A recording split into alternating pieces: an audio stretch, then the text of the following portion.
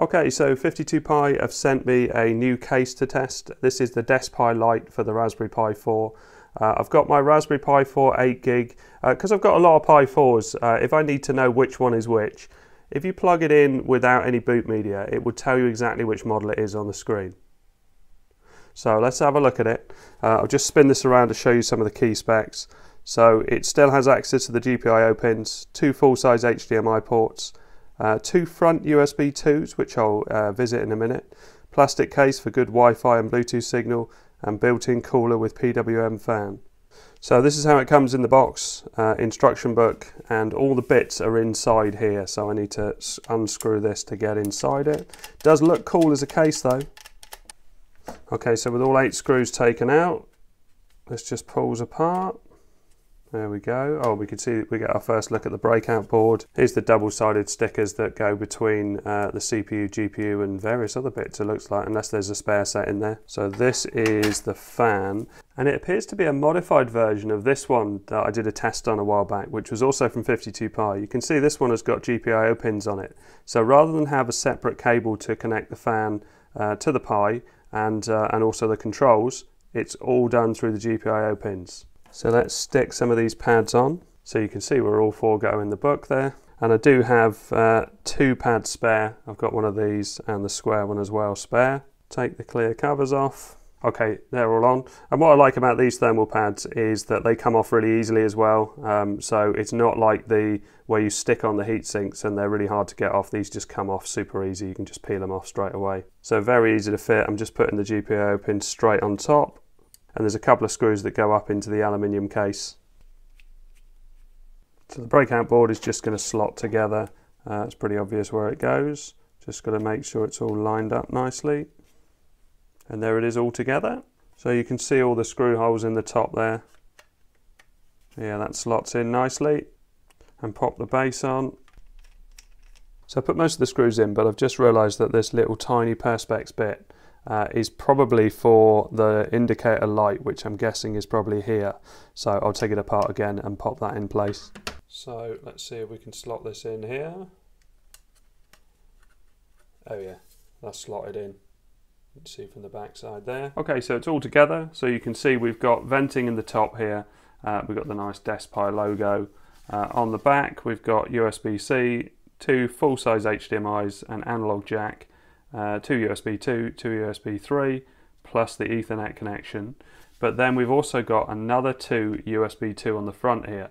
Uh, so we've got extra connectivity with this case. We've got the SD card slot on the bottom there, and let's just see what happens if I try and put a card in. So yeah, the card slot's in nicely, and yeah, I can get my nail in there, so that comes out nicely as well. USB sockets on the front seem nice and accessible. I just plugged a USB sound card in there. A little bit of venting on the underside here as well. And the GPIO pins, which are all labelled, so you can see it says DeskPi, uh, and they've actually labelled the different power sockets and what they are. And if we open that up, you can see the GPIO pins are in there as well. Yeah, very nice. Let's get this plugged in. So I generally use one of these, uh, which is a HDMI female to micro HDMI, but in the case of this, I can plug in the full size socket. I guess it's probably the one nearer the USB-C, that's usually the main one. Plug that in as well. Now I've got um, RetroPie on here, so I've got Supreme Ultra version 1.1 RetroPie. Just the base version, I haven't got any ROMs or anything I've added because I want to have a look at that in a minute. So let's switch it on and see what happens. I might want to plug in a controller and switch that on.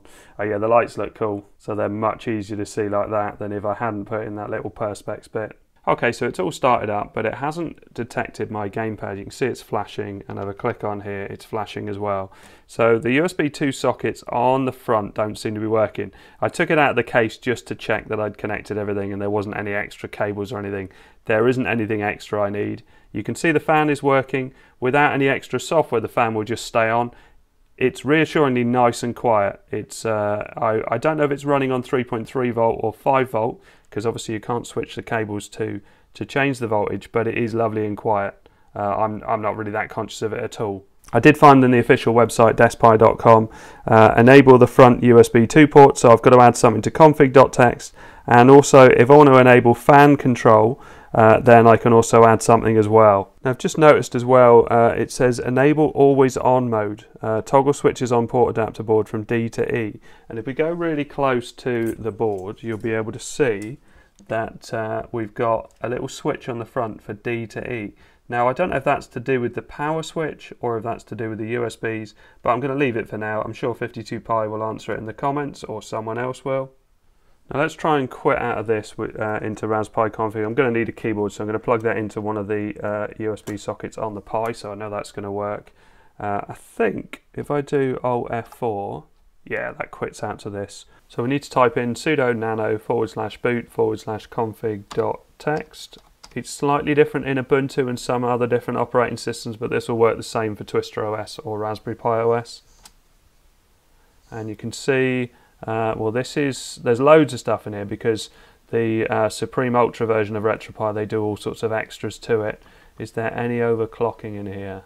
Yeah, it doesn't look like there is. So I might I might just overclock anyway. So arm frequency equals 2147 is pretty much my standard. And over underscore voltage equals 8, which usually works well on my Pi 4 8 gig. So I'm just adding this line in, dt overlay equals dwc2, comma dr underscore mode equals host. So that's turning on the USB 2 sockets on the front, which are enabled from the USB-C socket on the Pi. Now remember, you don't need to do any of this if you just want to use your Pi in the case. This is if you want to use the front USB sockets. Uh, and also the fan script uh, is if you want it to be able to turn on and off the fan with the temperature of the Pi. Because I'm running with a higher overclock, I'm just going to leave the fan on all the time. But it's the same principle. So Control X to save that, and yes, and enter.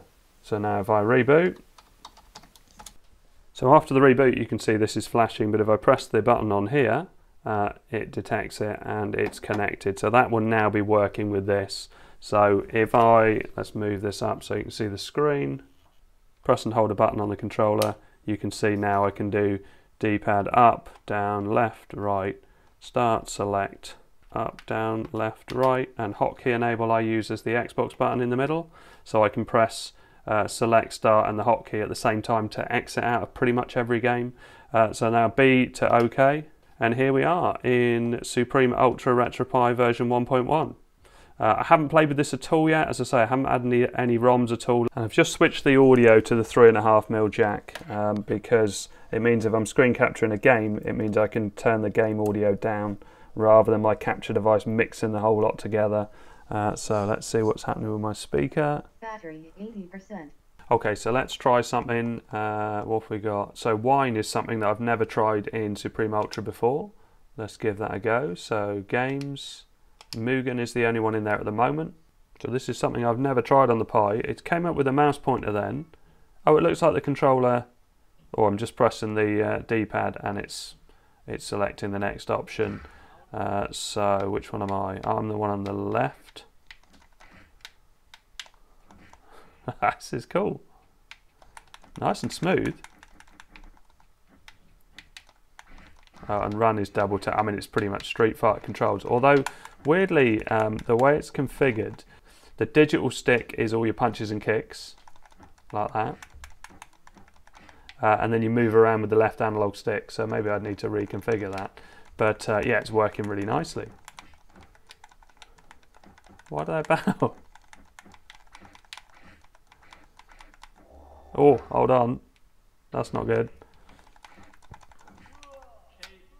KO. Very good. So if I press select start and the Xbox button, see if that quits out of that. It looks like it's going to, yeah, that takes us back.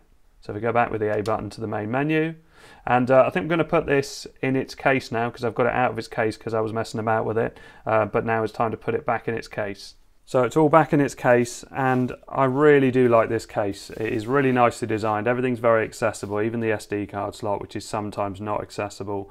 Uh, I don't mind that it's USB 2s on the front because we still have the two USB 3 on the back and I often use USB 2 uh, when devices don't need loads of power. So in the case of my controller I would definitely use USB 2 on that uh, because it doesn't need a lot of power and it's perfectly fast enough.